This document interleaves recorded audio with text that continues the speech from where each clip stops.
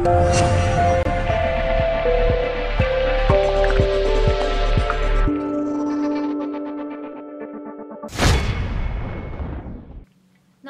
डिडब्लुआइटी न्युजको नेपाली संस्करणमा यहाँहरूलाई स्वागत छ। म ममता रानी। सुरु गरौँ कलेजको मुख्य समाचारबाट। एक्सप्लोर ग्याजेट्स टोली डियर एक्सप्रेस क्लबको डियर टक सत्रमा। सफ्टवेयर क्लबबाट एसई परीक्षा दिएर बसेका विद्यार्थीहरूका लागि वर्ड प्रेस कार्यशाला सम्पन्न। डकुमेन्ट्री मुभिज र ड्रामा क्लबको पाँचौँ स्क्रिनिङ सत्र सम्पन्न। डिडब्लुआइटी आर्टिस्टास क्लबले डिडब्लुआइटीका विद्यार्थीहरूका लागि स्केच कार्यशाला सम्पन्न। अब राष्ट्र प्रमुख समाचार। एक्सायटा कम्पनी एनसेलले थप एक अर्ब छत्तिस करोड कर बुझायो। निर्वाण चौधरीबाट नेपाल फ्लिक्स एउटा भिडियो स्क्रिनिङ प्लेटफर्मको सुरुवात। जुन दुईमा एक्सप्लोर ग्याजेट्स नामक चर्चित युट्युब च्यानल टोली डियर एक्सप्रेस क्लबको डियर टक सत्रमा आउनुभएको थियो। उहाँहरूले युट्युब च्यानल सञ्चालन गर्नका लागि आफ्नो अनुभव र विचार व्यक्त गर्दै युट्युबलाई नै पेसागत रूपमा कसरी अगाडि बढाउन सकिन्छ भन्ने कुरामा जोड दिनुभएको थियो। भर्खरै एसई परीक्षा दिएर बसेका विद्यार्थीहरूका लागि जुन दुईमा सफ्टवेयर क्लबले वर्ड प्रेसको कार्यशाला सम्पन्न गरेको छ।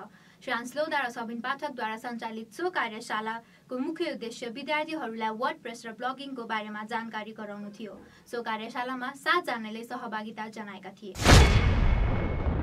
स्टार्सद्वारा डिडब्लुआइटीका विद्यार्थीहरूका लागि जुन तिनमा स्केच कार्यशाला सम्पन्न गरिएको छ विभिन्न छवटा स्कुलहरूको आर्ट एन्ड क्राफ्ट शिक्षिका रुक्मणी धितालबाट सो कार्यशाला सम्पन्न गरिएको हो। सातजनाको सहभागिता रहेको सो कार्यशालामा चित्र बनाउनुका साथै रङहरू कसरी भर्ने कुरामा कार्यशाला केन्द्रित रहेको थियो। लगातार चारवटा स्क्रिनिङ सत्रको सफलतापछि डकुमेन्ट्री मुभिज र ड्रामा क्लबले आफ्नो पाँचौँ स्क्रिनिङ सत्र सम्पन्न गरेको छ।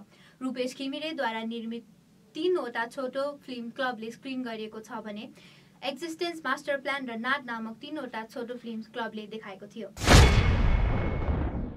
अब राष्ट्र समाचार विस्तारमा।